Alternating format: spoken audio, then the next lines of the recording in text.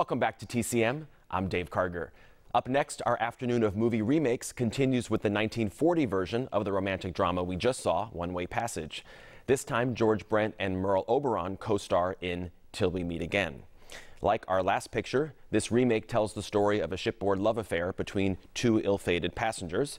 Brent plays a criminal facing a death sentence, and Oberon is a wealthy woman who's secretly suffering from a terminal heart condition.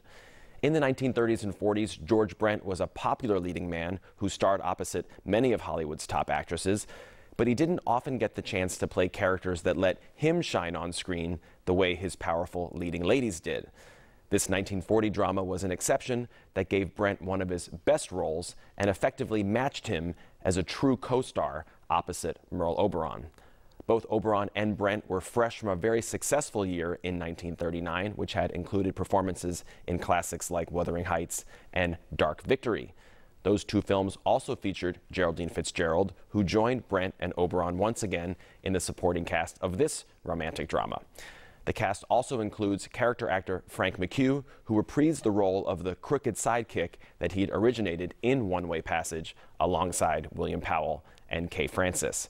Like the original, this remake earned strong reviews, and critics warned audiences that the film would manipulate their emotions, just as One Way Passage had done eight years earlier.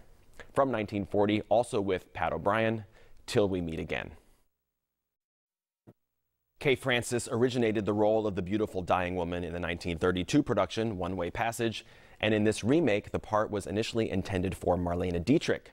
But Dietrich backed out of the project before production began, and the role went instead to Merle Oberon, who had just given an acclaimed performance starring in director William Wyler's 1939 adaptation of Wuthering Heights.